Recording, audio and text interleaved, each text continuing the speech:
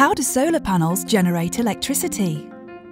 Electricity is the flow of electrons around a circuit.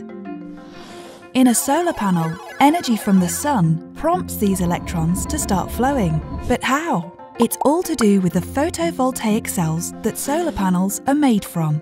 Photovoltaic cells are made out of two layers of silicon, one layer is positively charged and the other is negatively charged, creating an electric field that will enable an electric current to be generated. When sunlight hits the cell, light particles knock some of the electrons within the silicon free from their bonds. These are drawn to the positively charged silicon layer.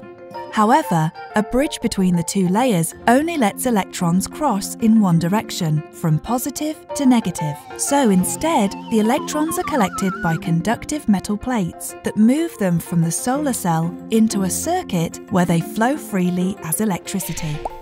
This electricity can be used in your home, stored in a battery or electric car, or exported to the electricity grid. Standard solar panels will generate 100% renewable electricity for 25 to 30 years. Good Energy buys electricity from hundreds of solar generators in Britain, along with supporting over 100,000 people who generate their own solar power at home. Switch to Good Energy for power from sun, wind and water.